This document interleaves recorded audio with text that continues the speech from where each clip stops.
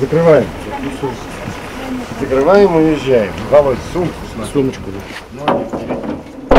Сегодня в парке Липки можно было наблюдать большое количество грузовых машин. Из домиков шале предприниматели вывозили остатки нереализованной продукции, личные вещи и новогоднюю атрибутику.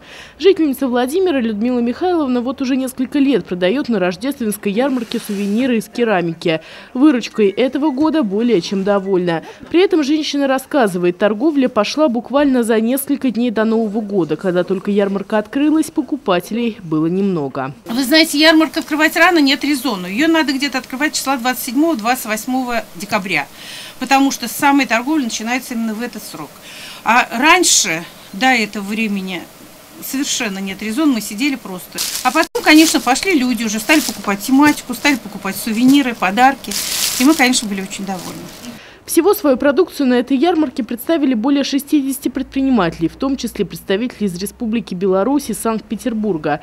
Но большинство домиков шале заняли местные ремесленники. По традиции приобрести здесь можно было сладости, соленья, сувениры ручной работы, кожаные изделия – все то, что можно было бы подарить родным и близким на Новый год.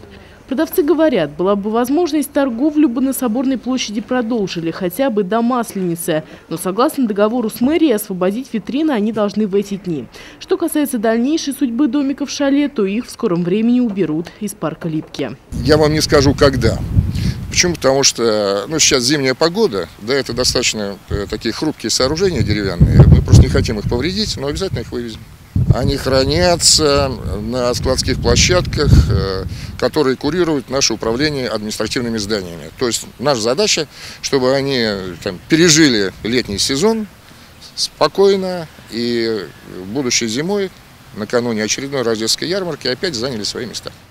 При этом в мэрии добавляют, не исключено, что несколько домиков шале все-таки останутся в центре для продажи сувенирной продукции туристам, а также для реализации товаров во время городских праздников.